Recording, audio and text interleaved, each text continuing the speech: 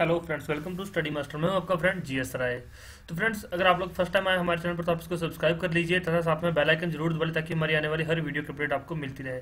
Friends आज का जो लेक्चर होगा, वो होगा हमारा जनरल साइंस के क्वेश्चन पर। ये हिंदी के अंदर रहेगा फ्रेंड्स और जिनका मीडियम इंग्लिश है, वो प्लीज़ नीचे कमेंट कर दीजिए कि, सर, हमें जनरल साइंस के इंग्लिश के अंदर क्वेश्चन प्रोवाइड करा दीजिए, फिर मैं आपको इंग्लिश के अंदर क्वेश्चन प्रोवाइड करा दूँगा। और अगर आप लोगों को चाहिए कि, सर, हर एक क्वेश्चन का हमें विद एक्सप्लेनेशन आंसर चाहिए तो फिर आप बता दीजिए, फिर मैं एनसीईआरटी की जो बुक्स हैं, वो शुरू कर देते हैं, फिर आपको एक्सप्लेनेशन के साथ हर एक चीज़ समझानी शुरू कर दूँगा। ये फ्रेंड्स वो क्वेश्चंस हैं, मैं आपके लिए पहले मैं लेकर आ रहा था कि डे वन डे टू आपको डे वाइज करवाएँगे डेली आपको दस बारह क्वेश्चन करवाएँगे, लेकिन अभी एग्ज़ाम्स सर पर है तो एग्ज़ाम के रिगार्डिंग मैं आपको ये जो है, जल्दी ही कवर करवा दूँगा। Within four to five days आपको सारे क्वेश्चन कवर करवा दूँगा साइंस के। चलिए शुरू करते हैं। और आप लोग नीचे कमेंट ज़रूर कीजिएगा कि आपको वीडियो कैसी लगी, और अगर आपको किसी क्वेश्चन का आंसर पता है तो प्लीज़ नीचे कमेंट कर देना। चलिए पहला क्वेश्चन शुरू करते हैं। निम्नलिखित युग्मों में से कौन सा युग्म सम्मिलित नहीं है? एक साइड तो नेम है राइटर जो एक साइड नेम है साइंटिस्ट के दूसरी साइड उन्होंने क्या क्या चीज़ खोज की? तो रंटन जी ने एक्सरे की खोज की, न्यूटन ने गुरुत्वा, गुरुत्व का नियम खोजा, फेराडे ने गैसों का प्रसार और पास्टर ने जीवाणुओं का अध्ययन किया। तो इसमें से कौन सा युग्म सुमेलित नहीं है? तो कौन सा सही नहीं है? तो फेराडेला। फेराडेला गैसों से डील नहीं करता है। तो बाकी ये सारे बिल्कुल ठीक है, ये गलत है। चलिए फ्रेंड्स नेक्स्ट क्वेश्चन पृथ्वी के चारों ओर घूमती, पृथ्वी सूर्य के चारों ओर घूमती है। इस बात की खोज किस वैज्ञानिक ने की थी?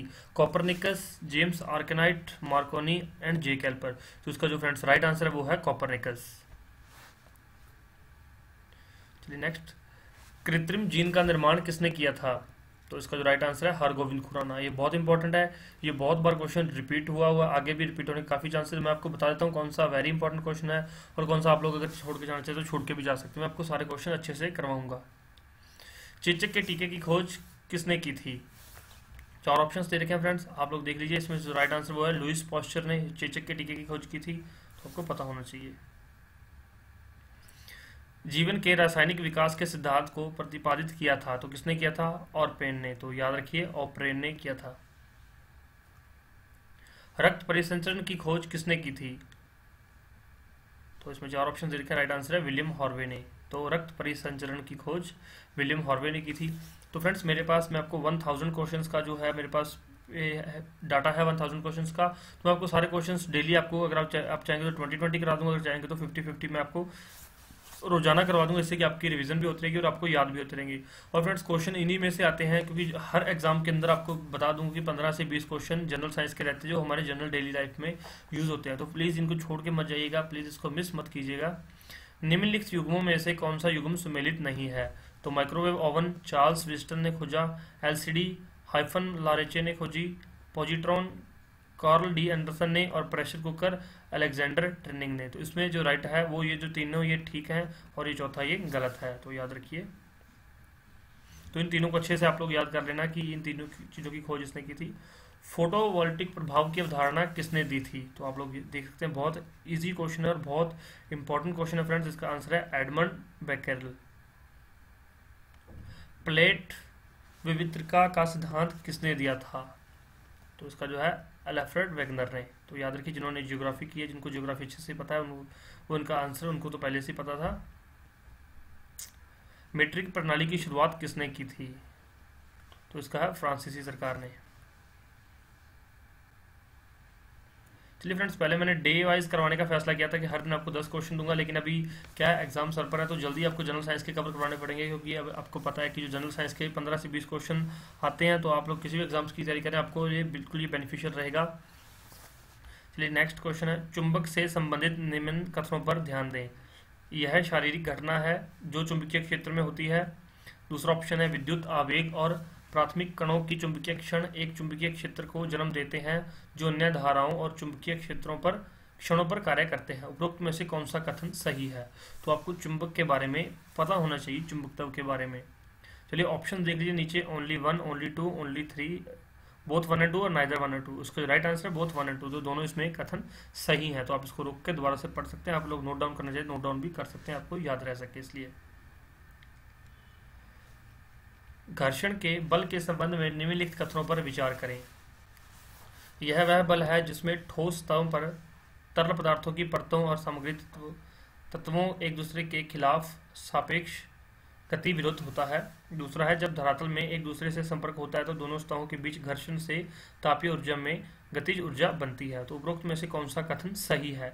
ऑप्शन देख लीजिए। Only one only two both one and two neither one and neither one nor two तो इसमें ये जो तीनों ऑप्शन गलत हैं, इसमें जो राइट आंसर है, पहला और दूसरा, ये दोनों ऑप्शन ठीक हैं। तो आप लोग इसको भी नोट डाउन कर सकते हैं एग्ज़ाम के अंदर सीधा क्वेश्चन आ सकता है ये। एच सी एस यूपीएससी के अंदर ऐसे क्वेश्चन आ जाते हैं। निम्नलिखित में से कौन सी घर्षण के प्रकार की सही परिभाषा है? तो घर्षण के प्रकार की देख लीजिए। शुष्क घर्षण में दो ठोस के बीच संपर्क होने से पार्श्व गति की तैयार होती है, गति को तैयार होती है। दूसरा है द्रव घर्षण एक चिपचिपा द्रव की परतों से होता है, जो एक दूसरे के सापेक्ष आगे बढ़ता है। तीसरा है चिकनाई घर्षण। वह मामला है जहाँ द्रव घर्षण दो ठोस तहों में विभाजित हो जाता है। तो इसमें ऑप्शंस देख लीजिए उपरोक्त में से कौन सा कथन सही है। Only one only two both one and two neither one nor two तो इसमें पहला और दूसरा ठीक नहीं है ओनली तीसरा ठीक है। तो इसमें जो है D is the right answer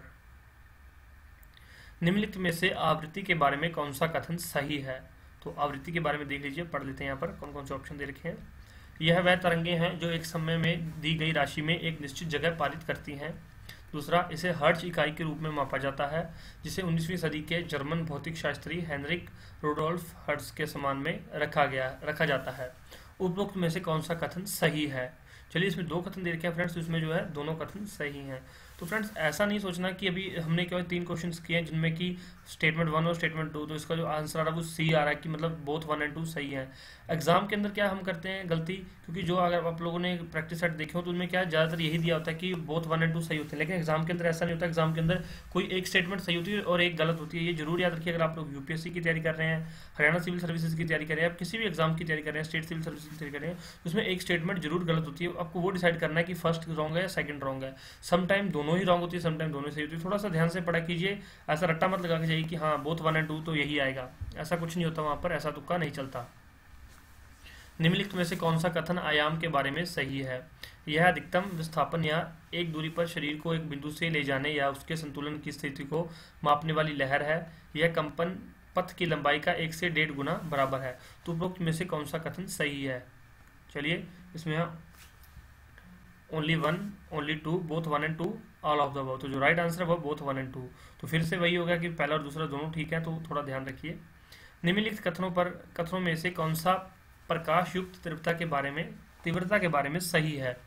यह ठोस कण प्रति इकाई की एक विशेष दिशा में एक प्रकाश स्रोत से उत्सर्जित तरंग धैर्य, बाध्य, भारी शक्ति को मापने का उपाय है। चमकदार तीव्रता की एसआई इकाई कैंडलम सी डी है, एक मूल्य इकाइयाँ हैं। तो इसमें है ओनली ए डी है ए एंड बी दोनों। तो इसका right answer A and B दोनों।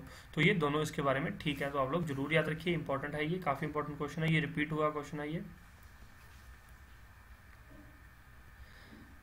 निम्नलिखित कथनों में से कौन अपसारी लेंस के अपवर्तन नियमों के बारे में सही है? अपसारी लेंस की मुख्य धुरी के समांतर किरणों की कोई भी घटना लेंस के माध्यम से अपरिवर्तित और केंद्र बिंदु के साथ लाइन से गुजरती है, अर्थात एक दिशा में इसके विस्तार केंद्र बिंदु से गुजरना होगा। तो ये एक ऑप्शन है सेकंड है, केंद्र बिंदु की ओर किसी भी किरण के गुजरने की घटना लेंस और मुख्य धुरी के समान माध्यम से अपरिवर्तित होती है। सी है ए एंड बी दोनों और डी है नन ऑफ़ द तो इसमें जो राइट आंसर वो है ए एंड बी दोनों। तो अपसरी लेंस के बारे में ये दोनों स्टेटमेंट अच्छे से याद कर लीजिए। ये स्टेटमेंट एग्ज़ाम के अंदर क्या होगा? इसमें जो थोड़ा सा बदल देंगे तो आपको क्या होगा कि आप फिर भी एंड बी दोनों लगा के आ जाएँगे और क्वेश्चन सेम आएगा। फ्रेंड्स तो ये जो मैं आपको बता रहा हूँ कि ये जो क्वेश्चन सेट है, ये जितने भी पुराने एग्ज़ाम्स के अंदर साइंस के क्वेश्चन पूछे गए हैं या फिर जो करंट अफेयर से क्वेश्चन बन रहे हैं, उनमें से सभी मैं आपके लिए बनाकर वो लाया हूँ। चलिए नेक्स्ट है, निम्नलिखित में से कौन सा कथन तारकी चमक के बारे में सही नहीं है? चमकते तारों का वैज्ञानिक नाम है हम उन्हें पृथ्वी की तरह से देख सकते हैं, क्योंकि हम उन्हें वायुमंडल की अशांत मोटी परतों के माध्यम से देख सकते हैं। तो उपरोक्त में से कौन सा कथन सही है? Only one only two both one and two all of the तो उसमें right answer both one and two दोनों कथन सही है। तो आप वीडियो को पोज करके देख लिया कीजिए। अगर कुछ सही समझे, थोड़ा बैक कर लिया कीजिए।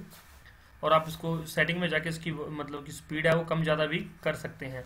निम्नलिखित में से कौन सा कथन चिपचिपाहट के बारे में सही नहीं है? तो ये ध्यान रखिए, नहीं है।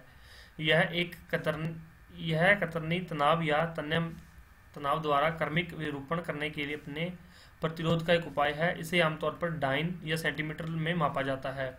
तो ये ऑप्शन में जो है, ये गलत है। यह तनाव या एक विकृत प्रभाव को रोकने के लिए शरीर की एक क्षमता होती है और जब तनाव खत्म हो जाता है, यह अपने मूल आकार या आकृति में लौट जाती है। तो ये बिल्कुल ठीक है। तो इसमें जो ये जो फ्रेंड्स बी ऑप्शन ठीक है, लेकिन हमें तो जो है इसमें सही नहीं है ढूंढना है तो हमारा ए सही नहीं है तो हम ये इसको राइट आंसर हमारा ए होगा। चलिए नेक्स्ट क्वेश्चन निम्नलिखित में से कौन सी रडार की संपत्ति है? जल जलमग्न पनडुब्बियों का पता लगाने की, एक रेडियो रिसीवर में संकेतों को प्राप्त करने की, भूस्थिर उपग्रहों का पता लगाने की या फिर हवाई जहाज़ जैसी वस्तुओं की स्थिति और स्थान का पता लगाने के लिए। तो रडार यूज़ होता है हवाई जहाजों जैसी स्थितियों का और स्थान का पता लगाने के लिए। चलिए फ्रेंड्स ये मैंने आज आपको बीस क्वेश्चन करवाए हैं तो आप इसको नोट डाउन कर लीजिए। अगर आपको नोट डाउन करनी होगी, अगर आप फ्रेंड्स अपने हाथों से लिख के देखेंगे तो आपको क्वेश्चन एक बार आप लिखेंगे, फिर पढ़ेंगे तो आपको अच्छे से याद हो जाएँगे। नहीं तो आप लोग सुनकर भी काम चला सकते हैं, आपको वीडियो को पोस्ट कर सकते हैं स्क्रीनशॉट ले सकते हैं, जैसे आप चाहें वैसा आप कर सकते हैं, आप अपने हिसाब से कर सकते हैं। वीडियो कैसा लगे बता दीजिए और इसको शेयर ज़रूर करिए किसी फ्रेंड के साथ। और जो लोग फ्रेंड्स मेरी वीडियो शेयर करते हैं, उनका बहुत बहुत थैंक यू जिन्होंने चैनल को सब्सक्राइब किया thank you so much so being with us मैं आपकी पूरी पूरी हेल्प करूँगा। जितना भी मटेरियल बन पड़ेगा, मैं आपके लिए प्रोवाइड कराऊँगा। चलिए friends thank you so much इसका नेक्स्ट पार्ट कल फिर अपलोड कर दिया जाएगा। Thank you so much friends take care bye bye God bless you all